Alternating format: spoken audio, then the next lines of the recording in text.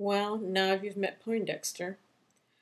Apparently, his story is a little more complicated than I originally thought. It now appears that Dexter is not a lost dog at all. I think he was dumped. The neighbors down the corner tell the story that one night they heard a car late at night going in in an area where it's a dead end. And that the next morning there was Dexter outside. I don't know how people can be so cold and just dump a beautiful dog like that. It turns out he's apparently a pure breed. I looked him up on the internet and he looks like he is an English pointer.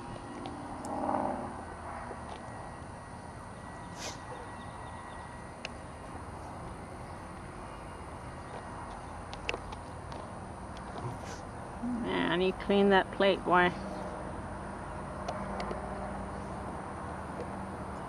In reading up about the breed, it turns out that they're very loyal, but also very active and they need a lot of exercise.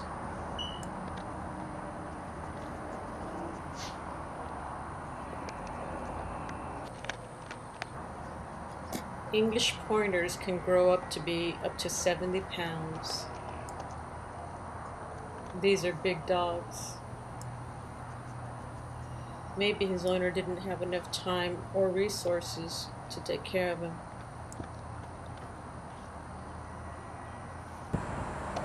All right, Dexter, you got plenty of water in that bowl there. Good. So now, in April, we put him up on Craigslist. I got one response in three weeks. Hey. You happy now that you had a big bowl of dog food? All right.